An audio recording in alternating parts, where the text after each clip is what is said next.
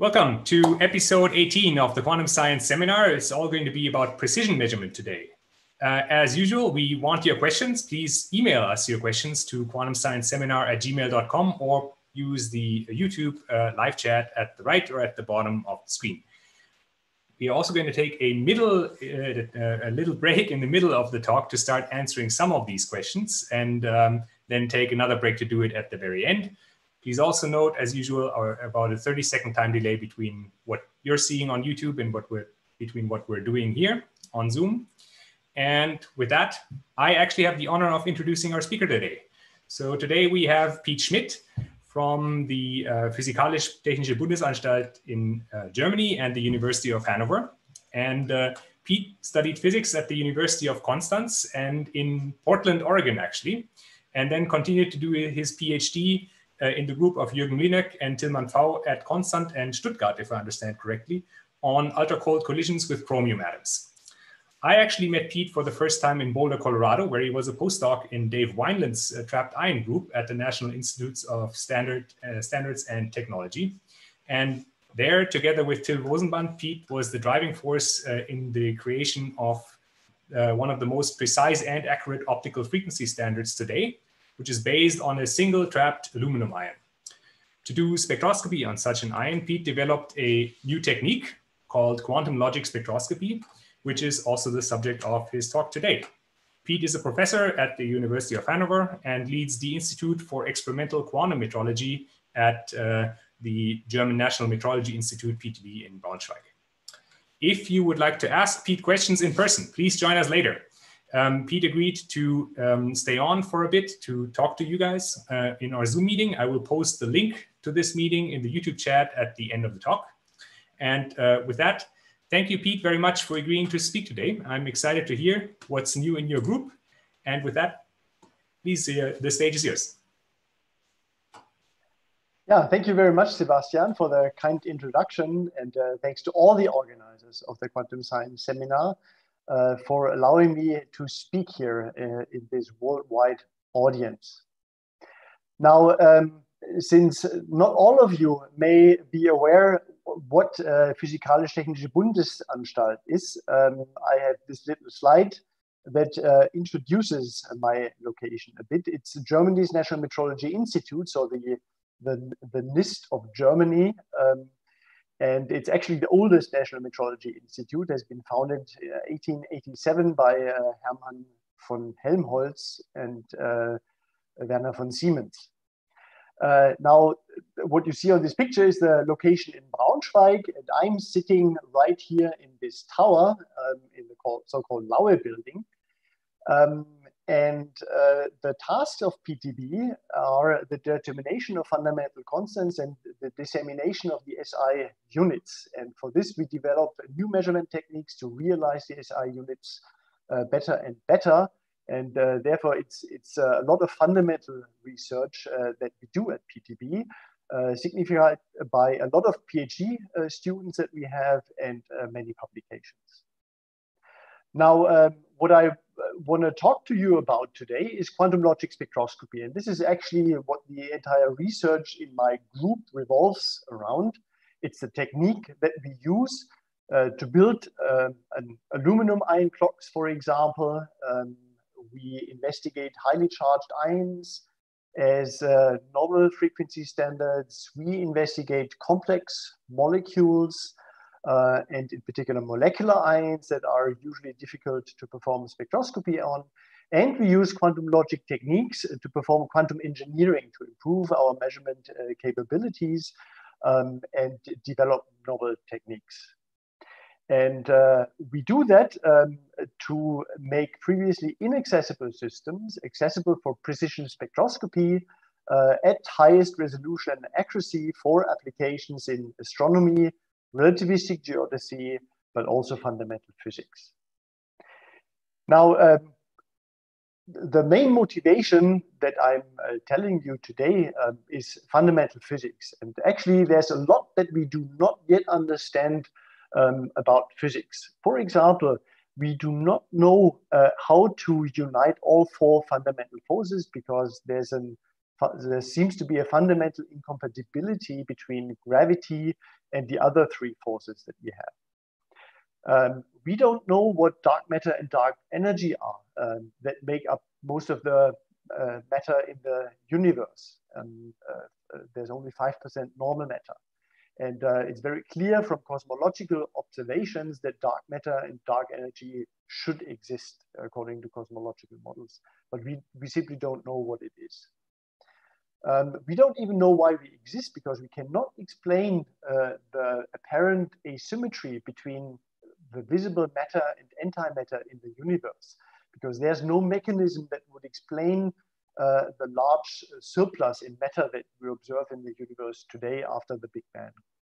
Now, looking at these questions, um, you, you think naturally that you have to go to cosmology, for example, or high energy physics uh, to find answers to all of these questions. And obviously, uh, there has been a lot of progress in um, um, sort of uh, confirming the standard model and uh, of particle physics and of cosmology um, that have been extremely successful in the past. But uh, taking advantage of the extremely high resolution uh, that we have in tabletop quantum optic experiments, we can um, hope that we can find sort of an, an afterglow of these big questions um, that we can detect using the extremely high resolution uh, available in our systems um, in particular, since some of the atomic and molecular systems are very sensitive probes to specific uh, uh, physics beyond the standard model. Now, um, what kind of physics could that be? Uh, there's a beautiful review by Marianna Safronova and uh, co-workers that go into very much more detail than I can here. Um, what, what to look for here. One thing that we can look for is potential variation of fundamental constants. Uh, we can look uh, for uh, flaws in Einstein's theory of relativity by, for example, probing the equivalence principle, the redshift, um, or local Lorentz invariance, for example. Uh, we can look for parity violation that could explain uh, the surplus in matter that we observe in the universe by looking for energy differences and additional mechanisms to the known ones um, to look into energy differences in different enantiomers of molecules, for example. We can also look for a, a possible dipole moment of the electron in uh, using molecules where internal fields um, uh, make the search much more sensitive than in other systems. We can look for fifth forces that could potentially explain dark or, or could be dark matter fields that couple um, quarks with electrons, for example, using isotope shift spectroscopy. And we can perform tests of QED by uh, performing precision spectroscopy on calculable atomic systems and compare uh, the results of the experiments to ab initio atomic structure calculations.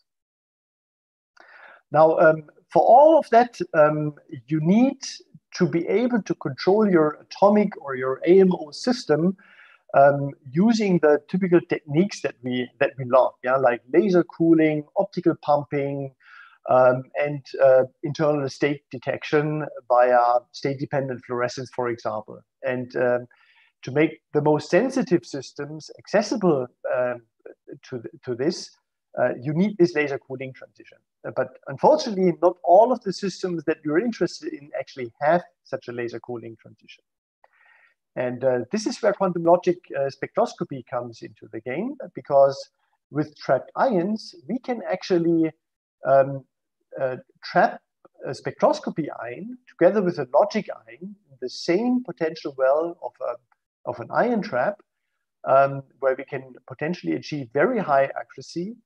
And um, owing to the very strong Coulomb interaction between the two ions, we can use the logic ion to sympathetically cool not only the motion of the spectroscopy ion, but also we can use a series of laser pulses to transfer the internal state of, from the spectroscopy ion to the logic ion and uh, detect it there uh, where we have uh, full control over the logic ion. So our um, we, we have our beloved uh, quantum optics toolbox available for the logic ion, um, and we use the logic ion as a probe uh, for the spectroscopy ion, and we can also use a logic ion to control the internal states of the spectroscopy ion, so do internal state preparation. Now you can view that as a composite system that combines the good controllability of the logic ion with the interesting spectroscopic features of your spectroscopy ion. And uh, as Sebastian already pointed out, uh, the first demonstration of quantum logic spectroscopy was the aluminum clock that we built some 15 years ago um, at NIST in Boulder.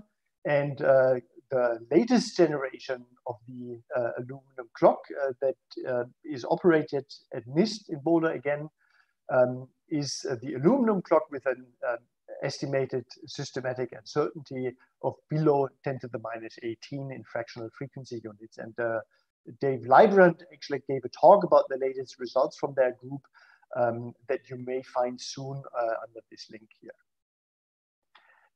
Now, um, I've introduced and motivated quantum logic spectroscopy to you already. And uh, what I want to uh, do today is give you two examples um, where uh, quantum logic spectroscopy might uh, or is already uh, helping uh, to answer some of the fundamental physics questions in the future. And this is quantum logic spectroscopy of highly charged ions and quantum logic spectroscopy of molecular ions. And um, I've been asked to keep this talk fairly simple, uh, simply because there's um, the audience is supposedly from a very diverse field, um, and uh, I try to stick to that. Yeah. So if you have more detailed questions that I'm able to cover here, yeah, please feel free uh, to ask um, in the according breaks for questions. Okay, let's get started uh, with quantum logic spectroscopy of highly charged ions.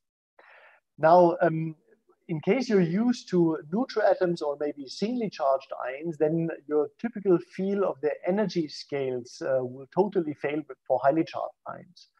Because um, if you compare, for example, neutral hydrogen with uranium, hydrogen-like uranium, that's uranium 91 plus, uh, then the binding energy of uh, the last electron uh, goes from 10 eV to 140 kilo electron volts the hyperfine splitting goes from microelectron volts into the visible regime, uh, electron volts, uh, so visible, visible laser transitions. QED effects uh, become strongly enhanced. They scale as a z to the fourth power and uh, amount to 300 electron volts, and therefore you can perform highly accurate QED tests in such systems. At the same time, as illustrated in this uh, sort of artist picture, uh, for example, Stark shifts polarizability goes down dramatically simply because the um, electron wave function shrinks um, by orders of magnitudes uh, due to the uh, high charge state of the remaining nucleus. Now, to give you a more specific example, let me show you the system that we are working with. This is um, uh, argon 13 plus in our case. that has the electronic structure of neutral boron. And neutral, neutral boron um, has the um, uh, ground state fine structure splitting of a few hundred gigahertz um, is a P1 half, a P3 half fine structure splitting, and the first dipole allowed transition in boron um, is the P1 half to S1 half transition or the P to S transition at 250 nanometers. Now, for uh, the identical electronic configuration in argon 13 plus, that dipole allowed transition is at 19 nanometers, so far beyond anything that we can accessed with uh, a, tabletop laser. At the same time, the fine structure splitting uh, has been increased to 441 nanometers. It's right where we like our spectroscopy lasers to be. This is just one example where you can have optical transitions. If you go to higher charge states, you can have uh, hyperfine transitions in the optical regime. And uh, there are cases where you can have level crossings, yeah, where two uh, orbitals or two electronic configurations start to cross as a function uh, of the charge state. And in, in, near that crossing, you can again have optical transition starting from the ground state. Now, um, why do we love highly charged ions uh, to test fundamental physics? First of all, they have a very simple electronic structure and so we can improve our atomic structure theory by comparing experiments uh, to calculations. This is also the reason why the, the preferred choice for QED tests, where uh, groups like uh, Klaus Blaum, Sven Sturm, and, and others um, uh, measure G factors that can be calculated to many, many digits. And um, comparing those measurements to QED calculations uh, is a test of QED in very strong fields where QED is expected to break down first. Um, now, uh, maybe some 10 years ago or so, uh, people have found out that uh, highly charged ions are actually uh, one of the most sensitive candidates to probe for a variation of the fine structure constant alpha. Um, highly charged ions uh, are also very sensitive candidates uh, to search for a violation of local Lorentz invariance for the same reasons actually that it's very sensitive to alpha. Um, we can use highly charged ions also to probe for uh, fifth forces uh, that could couple electrons to nucleons um, in isotope shift measurements. And um, we can look for parity violations in XUV transitions, for example. And then um, the, not, not the, the least application is, of course, because the electron cloud or the electron orbitals is, are very close to the nucleus, we can use electron spectroscopy to actually probe for nuclear effects in this case. And there's many more applications actually. Now, um, let me uh, give you one uh, specific example, uh, which is uh, a potential variation of fundamental constants that can be related to, to dark matter searches. Now, um, all we know about dark matter is that it interacts gravitationally with normal matter uh, because of, um, for example, rotation curve of, of galaxies. Um, now, the question is, is there an interaction beyond the gravitational interaction between dark matter and normal matter. And um, if so, there's there's a number of candidates for dark matter. Uh, it could, in the simplest case, be, for example, a scalar field um, that is simply superimposed, um, uh, or that that that we fly through on our spaceship Earth while we we cross uh, through the universe. Now that scalar field can uh, be composed of um, very light particles. In that case, it oscillates um, at measurable frequencies um, at the Compton frequency, for example. Um, that dark matter field could also be a topological field so that it uh, forms clumps and is gravitationally bound. And then we would fly through um, different densities of dark matter fields as we fly through the universe. Um, and uh, uh, the effect that any new type of interaction would have, um, uh, any type of new interaction between dark matter and normal matter would have on our favorite atom would be that uh, there, it would change the energy levels of our of our two-level system, for example. And uh, for us, that would look like an apparent change in for example, fundamental constants such as the fine structure constant that um, determines the electromagnetic strength of electromagnetic interaction, or, for example, um, the uh, ratio between uh, the electron to proton mass ratio. So for us, it would look like an apparent variation of fundamental constants, and so those constants could either oscillate or they could have we could have transient effects if we fly through dark matter clumps. Now, uh, what would that do uh, to um, two different atoms or two different transitions in the same atom? Um, that would change, and here's a, the example of an oscillation, that would change the energy levels. And if we, for example, have two atomic clocks that are uh, based on these two transitions, then we can compare those clocks and we would see an oscillating frequency ratio, for example, that we could measure. Now, what we can calculate with fairly high accuracy is this uh, proportionality uh, constant k here that relates a relative change in the fine structure constant to a relative change in the transition energy here that we measure.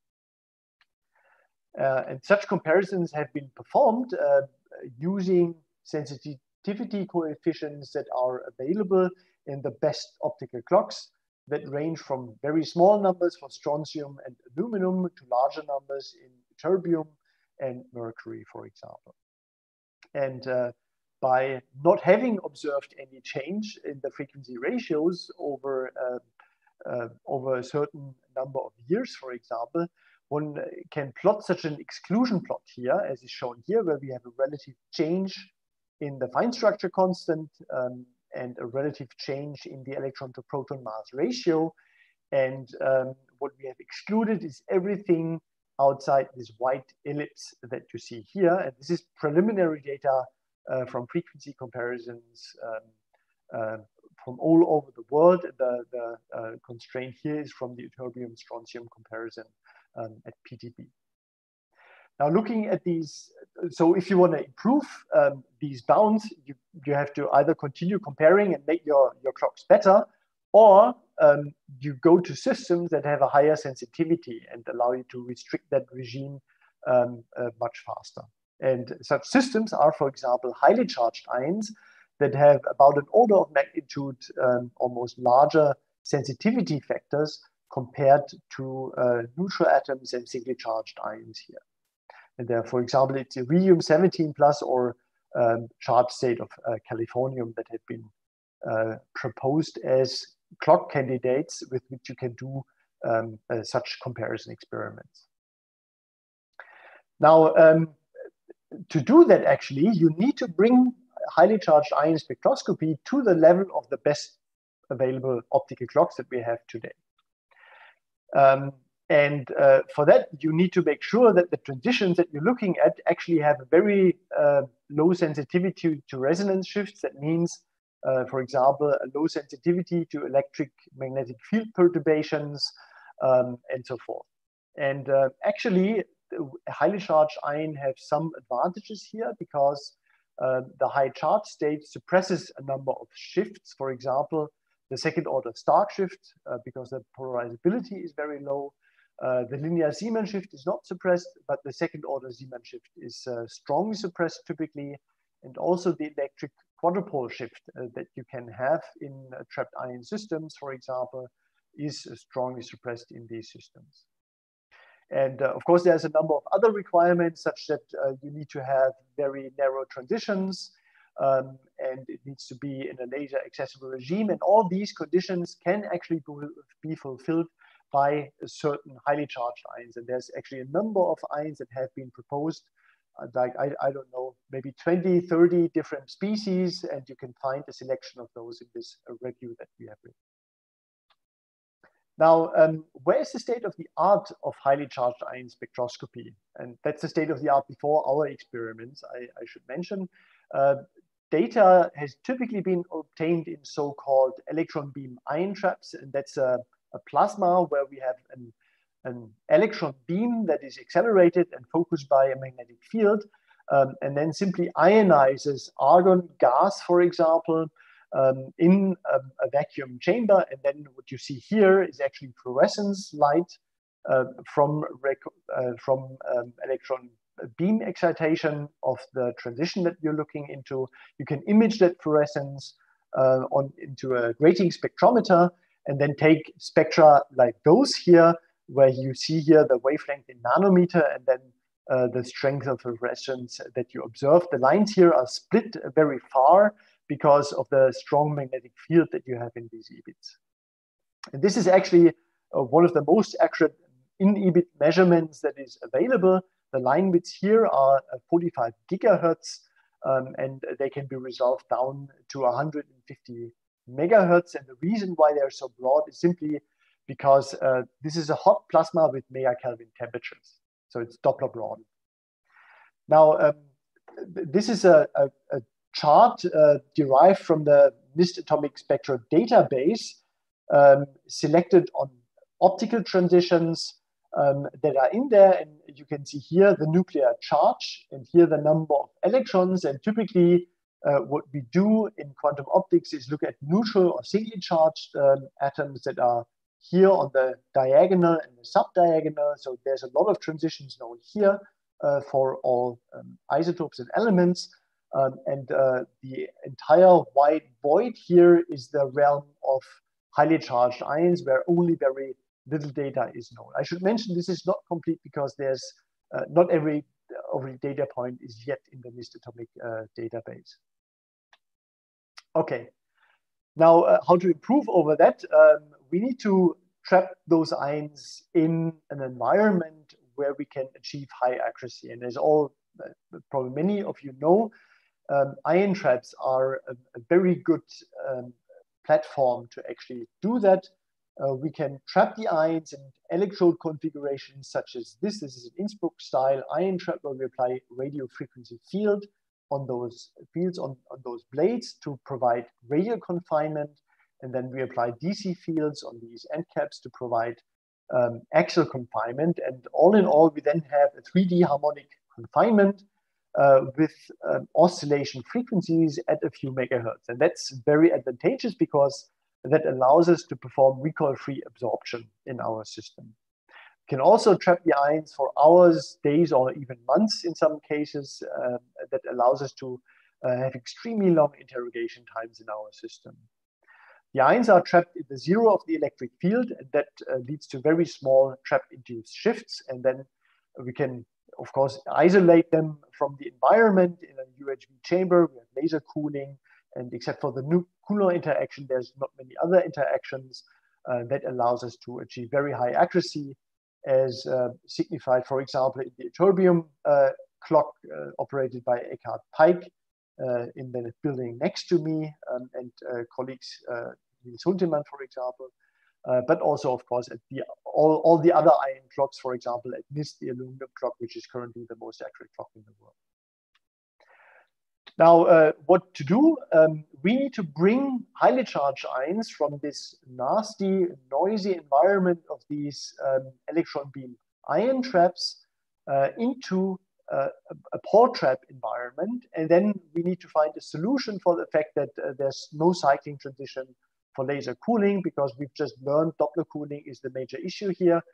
Um, and uh, the way we do that is we uh, bring them into a Paul trap and then perform quantum logic spectroscopy using a co-trap logic ion.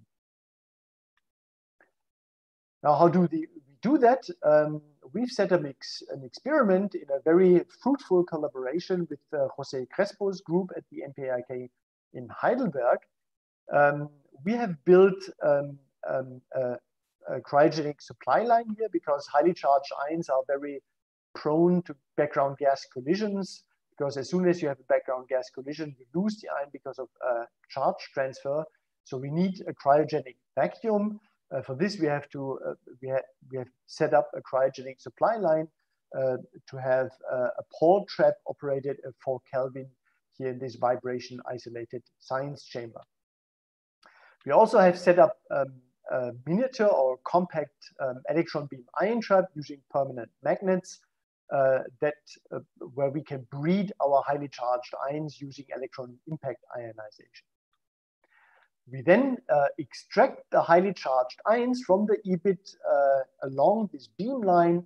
They're bent, then their uh, time of flight uh, charge to mass selected that we only have, for example, our argon 13 plus. They're slowed down in this uh, deceleration stage here and then injected into a Paul trap that operates at these cryogenic temperatures um, that you see here. This picture is a linear Paul trap where we have pre-trapped and laser-cooled uh, a cloud of beryllium ions uh, that you see here. And then once we inject the highly charged ions, um, we see a dark void popping up here um, inside the crystal. And then we know we have trapped a highly charged ion um, uh, in there. And then uh, we uh, essentially apply parametric heating to get rid of all beryllium ions except for one. Um, and that prepares a two ion crystal uh, made out of a highly charged ion and a beryllium ion, which is the starting point of quantum logic uh, spectroscopy. Now, the total preparation time for this situation, starting from scratch, is a few minutes, and the lifetimes that we observe are on the order of uh, three quarters of an hour or so. Okay. Um, we then apply quantum logic spectroscopy. And the basic idea um, of quantum logic with trapped ions dates back to this seminal paper by Ignacio Cirac and Peter Zoller, um, at the time at the University of Innsbruck uh, from 1995, where we uh, where they proposed the idea of doing quantum logic with trapped ions in linear Paul traps, where you use the collective motion of the uh, trapped ions to transfer quantum information between them. It was Dave Wineland who had the idea uh, to use these techniques not only for quantum information processing, but also to do precision spectroscopy. And he was the one to came up with the idea of quantum logic spectroscopy that was then implemented by us uh, in the first aluminum clock. How does it work? How does the system look like? Uh, we have a, a two-level system uh, where we have a ground state and a metastable excited state that lives long enough uh, such that we can actually spectrally resolve um, the individual levels of motion of that uh, two-level atom inside um, the trapping potential. So we have a trapping potential, a, a frequency, a trapping frequency of uh, small omega that is much larger than gamma, the line width of this transition here. Um, that uh, forms a coupled system of motion and uh, internal to, to uh, qubit or to a qubit two level system that we can fan out um, and drive transitions in between. Uh, we can drive uh, selectively in this case, in this resolved sideband regime, as we call it, we can drive selectively carrier transitions uh, by choosing a laser uh, detuning that we only drive transitions that change the electronic state, but not address the motional state. Uh, by tuning to the blue sideband, as we call it, uh, we change the um, motional state by adding one quantum of motion uh, when starting from the ground state. And we can remove one quantum of motion uh, when starting from the ground state by simply tuning to the so-called red sideband transition here. Okay, now um, here you can see such a spectrum uh, with, uh, so I've left out the carrier, but these are the, the sidebands of this two ion crystal uh, of a highly charged ion and the single beryllium ion in our Paul trap. And these are the two axial modes, and we have two modes. Uh, one mode is the so-called in-phase mode, and one mode with a, the other mode with a higher frequency is the out-of-phase mode that you can see both here. So here are uh, red um, sidebands of the out-of-phase mode, uh, here of the in-phase mode, and here are the blue sidebands of those two modes. And these are probe modes on the beryllium ion. Now we can uh, determine from just a single beryllium ion frequencies where we would expect the joint motional frequencies uh, of, the, of the coupled modes for different charge state of argon. And you can clearly see that you can distinguish argon, argon 13 plus from 12 plus and 14 plus here. Now uh, we can apply sideband cooling on the beryllium ion uh, by simply driving the red sideband transition and then performing some sort of repumping um, to reinitialize in the electronic ground state. And if we do that, um, we essentially remove the red sideband because from the n equals zero state, there's no transition uh, possible uh, to, uh, because there's no uh, n equals minus one state here. Um, and from the residual excitation here, we can actually derive something like the temperature, uh, which would correspond to a few microkelvins in, in, in uh, for this mode in this case.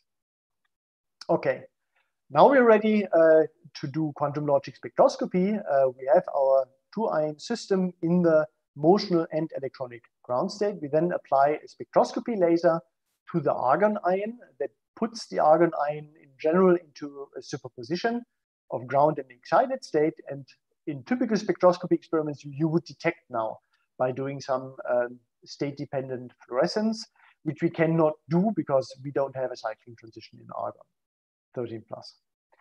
Uh, instead, we apply a sideband pulse that maps this electronic superposition into a motional superposition of the uh, two ion crystal being uh, in the n equals zero Fock state or the n equals one Fock state, which is illustrated as a motion, but it's actually not moving, of course. Yeah? Uh, for the expert, it's a swap gate between the internal degrees of freedom and the motional degrees of freedom. We can reverse that step on the beryllium ion again using a red sideband and map the motional superposition back into an electronic superposition uh, this time on the beryllium, and we can detect that uh, uh, then the internal state uh, in the beryllium, which is um, a one-to-one -one correspondence of the original state that we produced after spectroscopy on the argon-13 plus. We have done that um, in the case of um, uh, this highly charged ion spectroscopy. Here you see the spectroscopy laser detuning from resonance, excitation probability, um, and we have here Fourier limited line widths of 65 hertz uh, with a resolution of about 5 hertz in this case. We've also set ourselves onto resonance and then performed Rabi flopping um, on that clock transition um, in or, or, fine structure transition in argon 13 plus. And the dephasing that you see here is strictly dominated by the excited state lifetime of about 10 milliseconds of this transition. Uh, we've made a dedicated um, lifetime measurement just to demonstrate that you can use this technique also to perform precision lifetime measurements. I should mention that uh, uh, we could only do these experiments because we happen to have the most, one of the most accurate laser of the world next door here at uh, PTB, operated by uh, Uwe Sterr and Erik Benkler at PTB. Um, and we transfer lock our laser, our spectroscopy laser, to this uh, silicon cavity stabilized laser um, operated by this group. Now, um, of course, uh, Argon 30 plus is not, the fine structure is not a two-level system, but rather um, a, um, a multi-level system. And by implementing quantum logic assisted uh, state preparation, uh, we could uh, actually drive all of these transitions and you see the result here. It's, it's a zoom out just to compare with calculations. Uh, we have here, the dashed lines are sort of the semi-classical Landé G factor calculations. Uh, then there's Dirac calculations performed uh, by this group here. Um, that's fully, that's relativistic. We can then take into account electron interactions. Then the deviation becomes larger again. And only if we do a full uh, QED calculation, we find agreement uh, between experiment and calculations. And in fact, uh, our measurements that are shown here uh, confirm the theoretical predictions uh, by, by these groups here and uh, falsify essentially the predictions of the theory um, from these two papers here. Okay, and you can view that as a QED test of an excited state G factor. And uh, just to put this into perspective, um, these are is a historic evolution of the relative accuracy of highly charged ion spectroscopy. There's a more recent Penning trap measurement, and then our measurement um, has currently or recently been improved to 0.3 hertz even, and uh, we see currently no limitation in going even further in terms of accuracy down here. And uh, let me show you two more slides uh, before we come to the first uh, question round. Uh, first, let me briefly summarize. I hope I could convince you that we can now do precision spectroscopy on highly charged ions and can address some of the fundamental physics questions with that. Uh, we have achieved full quantum optics control over a highly charged ion. We've performed uh, the first coherent spectroscopy of a highly charged ion as well, determined g factors and atomic lifetimes. And now the beauty of the quantum logic spectroscopy technique really is that this is a very universal spectroscopy scheme because um, most of our infrastructure revolves around the logic ion, the beryllium ion that we use. Um, and we can simply choose any other highly charged ion and do um, a similar spectroscopy on that. Yeah? And what, all what we have to change is the spectroscopy laser. Now, where are we heading from there?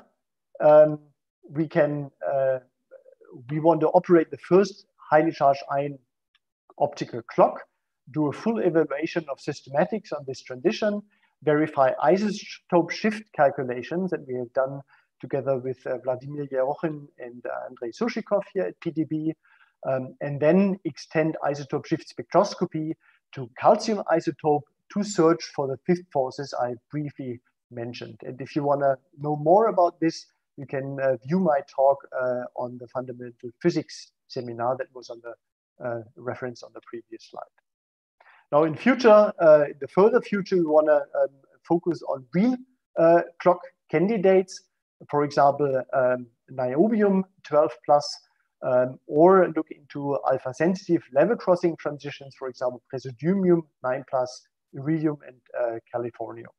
And the ultimate goal is to do optical clock-like spectroscopy of highly charged ions to test fundamental physics. And I think uh, with that, I would be ready for the first round of questions. Well, thank you very much, Piet, for the really interesting and engaging talk so far. Um, we have quite a few questions, um, so let me pick a few of those and ask them now and uh, maybe save some others to later. So the first question is, um, are there specific nuclei when you go to sort of choose the ions you're using in your experiment that are particularly useful to detect new physics, or is it mostly a question of getting the right mass and the right charge? Uh, ah, if there are sort of specific nuclei that are particularly good, um, then what are the features that you're looking for? Um, yeah. So uh, there's different there's different types of fundamental physics tests, obviously. Yeah. So, for example, for the isotope uh, shift spectroscopy, you want um, uh, nuclei with no nuclear spin, ideally, and as many isotopes as you can get your hand on. Yeah? And uh, there, the simplest nucleus uh, and the simplest electronic structure that you can have with uh, many isotopes is actually calcium. Because there we have stable calcium 40, 42, 44, 46, and 48. Uh, those are five isotopes uh, that we can then perform isotope shift spectroscopy on, and then hopefully put bounds on fifth forces that would couple, for example, neutrons to electrons, because that's really the only parameter that you change in isotope shift spectroscopy. Okay. Um, so thanks. Um, uh, to what extent then, uh, you know, when you look at the choice of your um, other ion, particularly with the um, with, with the sort of quantum logic spectroscopy, um, to what extent do you have to take care of the influence of the other ion, if you like, on the um, the spectroscopy ion? Mm-hmm. Uh, is it the case that sort of this massively reduced polarizability of the highly charged ion means that it's not very sensitive to that? Mm-hmm um, or, or do you really have to be particular in how you choose your interrogation ion to match the spectroscopy yeah. ion? No, actually, uh, the, the only thing that interacts between the two ions is actually the, the electric field. So it's a Coulomb interaction. Um, and the Coulomb interaction, of course, acts on the electronic structure as a whole. Yeah? So there's no with sort of the, the, the zeroth order term of the Coulomb interaction, there's no problem with that. And this will be all the same for all species and will not lead to any systematic shifts. However, electric field gradients can of course couple to electric quadrupoles of the electronic structure. And that needs to be taken care of. And um, that can be either calculated or measured uh, to, a, to a good extent. And as I've mentioned already, um, the electric quadrupole moment that any electronic configuration in a highly charged ion may have is strongly suppressed simply because the, the entire electron cloud is, is shrunk, is much smaller than for neutral atoms or single charged ions. Other than that, um, um, there are some requirements, of course, for in terms of stability um, you need to be with your highly charged ion close to the instability regime of Paul traps. Um, there are certain regimes, certain charge to mass regimes for which Paul traps are stable. And that's really the only requirement that you have in this case. Okay, thank you. And um, we'll take maybe one more question before we um, uh, move on to the, the last 10 minutes of the talk. Um, so you you were just talking briefly about uh, the about clocks specifically. So what's the hope with these things maybe of um, bringing this sort of highly charged ion spectroscopy to the level of these sort of aluminium ion clocks, for example? Mm-hmm. It seems from what you said that there is a, there are large factors of advantage for the highly charged ions because of the reduced effects of external fields. Um, so what's the chance of really being competitive with the state of the art optical clocks? So I, I think in the end, um, it is possible. These are all technical issues that you have to solve. For example, the linear Zeeman effect you have to strongly suppress uh, because um, that's uh, in, in all in, in most transitions that have been investigated, that will be the, the, the dominant shift um, uh, as far as I understand uh, or have, have looked into the system. Um, I would say that it is possible to be on par with uh, the most advanced clocks Um, but I would not say that this is the most prominent features for um, highly charged ion. I think that just a combination of being at the sort of 10 to the minus 18 level with the highly charged ions and their high sensitivity to new physics effects, that, that makes a game changer because, for example, the aluminum ion is not sensitive to any new physics that we know of. Um, it, it's quite the opposite. It's one of the most insensitive systems that you can imagine. Um, and therefore, just the combination of being able to perform spectroscopy at the 10 to the minus 18 level, potentially, and uh, the high sensitivity to new physics is what makes highly charged ions, in, at least from my perspective, very attractive. So, so that sounds really exciting. Um, so with that, I think we'll um, save the remaining questions uh, yeah. for 10 minutes time at the end of the talk. Um, looking forward to the... Okay. Um, so I, I think I, am not sure how I am with time. Yeah, I think we're quite advanced, so I, I may, may take a shortcut actually. Yeah, towards the end. Okay, now let me uh, come to the second example that uh, I wanted to show you, and this is quantum logic with molecular ions. Um, now, I've shown you already that you can uh, perform optical clock comparisons uh, to put bounds on uh, a potential variation of the fine structure constant and the electron to proton mass ratio. Now, um, if you look very closely, then the sensitivity to the electron to proton mass ratio comes actually from comparison with cesium, because the cesium transition frequency determines, uh, uh is dependent on that ratio. However, it's not quite clear um, what the sensitivity factor is because nuclear models come uh, into play to um, to actually calculate the sensitivity factor, and um, that's not very satisfactory. Now, why is it interesting uh, to actually look into uh, the electron to proton uh, charge uh, uh, to electron to proton mass ratio? Because it's um, predicted to vary 40 times stronger than a potential variation in the fine structure constant. Now, um, as I already mentioned, uh, this is model dependent in the clock comparison and uh, cesium is operated at 9.2 gigahertz. So we um, have very large statistical uncertainties uh, from that.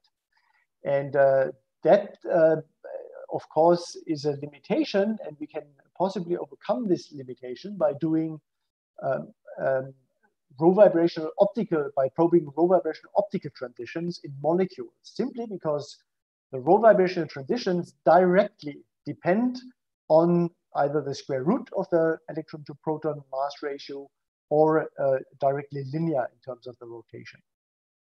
And uh, that makes it uh, very attractive to build optical clocks based on, uh, for example, vibrational overtone transitions in molecules.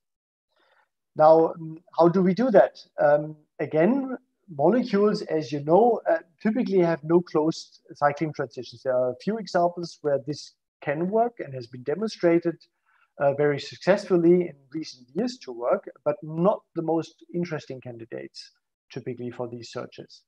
And again, uh, quantum logic spectroscopy comes to the rescue because we can trap a molecular ion together with a logic ion. In this case, it's magnesium magnesium hydride plus, um, and use quantum logic spectroscopy to map the molecule's internal state or detect it. Um, uh, we can map it onto the motional state and then uh, detect it via the atom's internal state.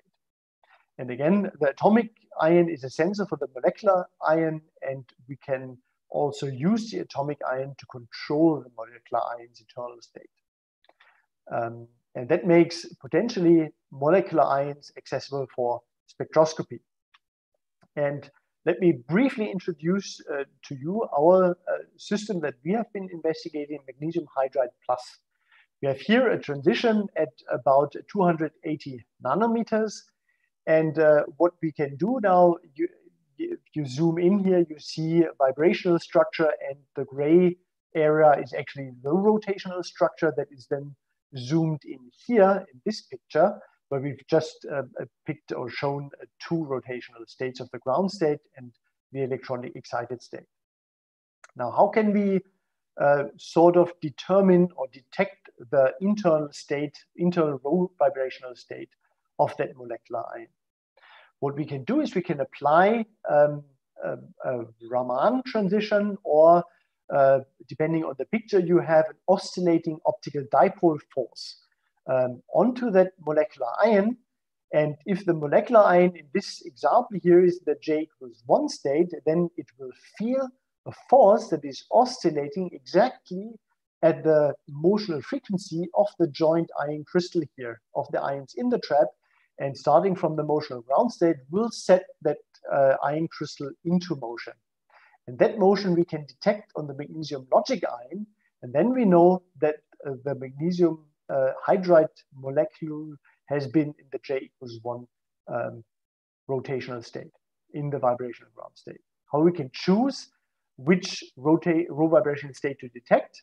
Um, here is a plot of all transitions as a function of the laser detuning here. That's this detuning of um, the Raman lasers that we apply. And as you can see, if we zoom in here by choosing an appropriate detuning, we can actually isolate uh, the interaction of this j equals one state, for example, from the j equals six state um, in uh, this um, uh, manifold of transitions. And so we have operated our system um, on the two slopes of the j equals one vibrational transition um, uh, to the electronically excited state. Uh, so the uh, rotational state selectivity is determined via the laser detuning in this case. Now we've done that experiment. Um, so we performed ground state cooling via the logic ion. We then applied spin motional mapping, uh, similar uh, to what you've seen on the highly charged ion case.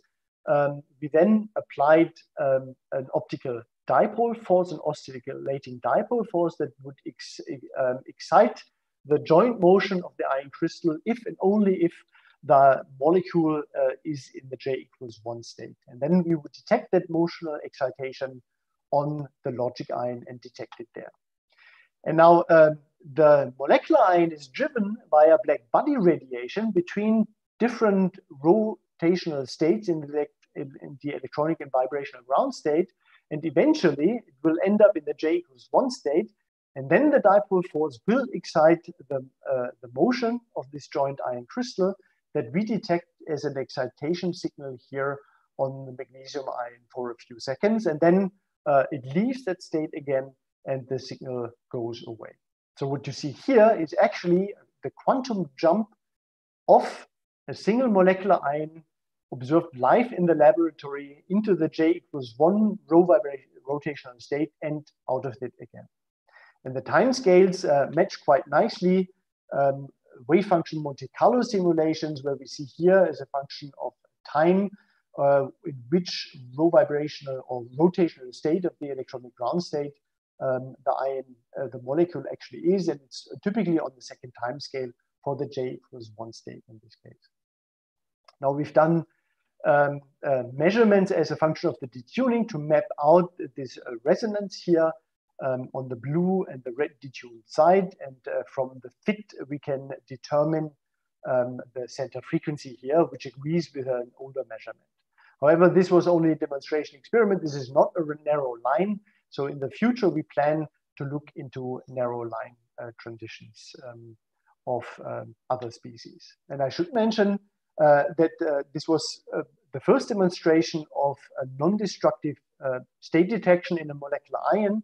And in the meantime, there has been work by the NIST group around James Chou and um, from the Willitsch group in Basel um, that have um, extended uh, our scheme. So the NIST group has used a different uh, scheme with party-tuned lasers, uh, whereas the Willitsch group has demonstrated our scheme with uh, N2 plus. Yeah. And there's also a talk, um, or has been a talk by James Chou um, in another uh, online seminar.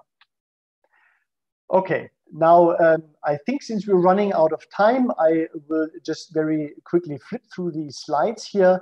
What we've done here is actually um, we've measured um, in this phase-space diagram a displacement, a motional displacement of the ions from um, the ground state um, of motion. Yeah? So what we detect in our scheme is the is, is the uh, remaining fraction of population in the motional ground state, and um, our detection scheme is limited by uh, how well we can actually discriminate the excited motion from the ground state motion. And obviously we can uh, play tricks here. For example, you can use uh, squeeze states uh, or Schrödinger cat states to enhance um, this displacement detection here. And uh, what we have done is we have actually used uh, motional Fock states um, to um, enhance the slope. And uh, this is a, a, Wigner function representation um, of uh, the uh, displacement detection, where you can see here that the slope here is much faster because we have a zero crossing here and then uh, a single oscillation. If we use then equals one motional Fock state for this type of experiment. And if you use higher Fock states, the, the slope steepens uh, and you get more oscillations here. And uh, if you do that and uh, do a full scheme, uh, then we were able to show that we can actually uh, perform displacement measurements that are below the standard quantum limit, which is determined essentially by the n equals by the classical scheme that I uh, showed in one of the earlier slides. And you can clearly see that we're here in the non-classical regime um, and could halve in our fully, uh, fully fledged measurement scheme the uh, measurement time uh, to achieve a certain resolution here in, in displacement. Um, and if you want to uh, compare that to a force measurement, uh, we've measured uh, 112 Newton per square root of Hertz using this, this type of system. Okay, with that, I'm at the end. Um, I hope I could convince you that we've made first steps um, towards um, quantum optics control of molecular ions. I've shown you that uh, we have uh, demonstrated non-destructive state detection in very simple spectroscopy schemes that in the meantime have been extended by other groups. And I could show you that you can use quantum state engineering, motional quantum state engineering, uh, to actually enhance measurements of these types in the future. And what we want to do uh, in the future with our molecules is move to, uh, from a fundamental physics point of view, more interesting species, for example, O2 plus. So we've set up a molecular beam line uh, to be able to trap uh, uh, molecular ions uh, together with our logic ion and then do deterministic state preparation and achieve full control over the molecular state and then perform high precision spectroscopy. And my personal dream, at least, is uh, that uh, we can extend this even to more to to not only diatomic molecules, but to molecules that are more complex, and then um, have two molecules um, uh, in the same trap together with a logic ion, and then entangle the two molecules, and then measure the tiny energy difference arising only from parity violation in those molecules. And with that, I'm at the end, and I would like to thank my fantastic group here in yellow, uh, the people who were drivers on the highly charged ion experiment, where I uh, want to acknowledge a very fruitful collaboration with Jose Crespo and his group, and in red, um, the people involved with the molecular ion experiment. And uh, I'd like to thank our collaborators or other collaborators, the funding agencies, and you, of course, for your attention. Thanks. So thank you very much, Piet, for that um, that really interesting introduction to this um, this fascinating toolbox of um, things that you're building up here, and the uh, the fundamental physics that it um, that has the potential to open up. So really fascinating stuff. Thank you. Thank you. Um, so we have several questions, um, uh, many of them sort of about the the outlook and the big picture of these things. The first sort of in the, the YouTube chat from from Yanni Tsuo, I hope I've pronounced that correctly who thanks you for the nice talk and asks um, what the limitations are of highly charged ion clocks. So in general, you know, what, what are the ultimate limits of these, these systems that you're building? Um, so certainly the linear Zeeman effect that I uh, already mentioned earlier is going to be a challenge, which is a technical challenge. You have to keep the magnetic field sufficiently constant um, over the probe time, but I think this is a, a, a, something that we can live with. Another uh, thing that we actually worry about um, is sympathetic cooling. Um, I haven't gone into much detail, but um, as you can imagine, um, axially, yeah, uh, here we can cool very, very well. Yeah, um, but uh, we we have problems, and we're currently investigating this as we speak. Actually, yeah? um, the radial modes yeah, um, are much less well coupled simply because the distance between the highly charged ion and the singly charged ion is about uh, is tens of microns actually. And uh, therefore the radial motion is strongly decoupled. So we have one mode where the highly charged ion moves a lot and the other mode where the logic ion moves a lot. And the mode where the highly charged ion moves a lot and the logic moves very little is very weakly cooled only and together with the heating rates that we have in these types of traps, that puts a limit on the final temperature that we can achieve in the radial direction. And that will ultimately leave um, the time dilation shift or second order Doppler shift. Um, and this is going to be a limitation. Again, this can be viewed as a technical limitation simply because um, by technical improvements, we can reduce the heating rate, and then this should no longer be um, a, a, big issue. Um, this, these are actually the only sort of eminent uh, technical limitations that we are currently facing, but we don't know what's what's coming. Yeah? Uh, you only will see that once you do a full uh, evaluation of systematic effects, um, um, which we're currently doing. Okay, uh, it'll be very interesting to to see going forward. Certainly, certainly very exciting. Uh, so another sort of question then about the, the, possibilities in these systems, you know, with respect to, to other precision spectroscopy systems, and with these highly charged molecular ions, um, how do you see the comparison with sort of more conventional uh, molecular EDM measurements? So, to what extent do you see that these systems could compete with or surpass in sensitivity mm-hmm. uh, the more conventional molecular EDM measurements? so I, I, think it's, it will be very difficult to compete actually with the extremely advanced um, molecular EDM measurements that have been done already in David DeMille's group, but also in Eric Cornell's group on, on ions. Um, simply because they, they have a lot more signal to noise. They, they use clouds of ions or a, a beam of, of molecules um, and it will be very difficult to compete with those measurements, actually. Uh, we will have, um, we would have the advantage of having an extremely clean environment. So systematic effects um, might be much easier to characterize in our system. Uh, but in terms of signal to noise ratio, we would not really win. Yeah.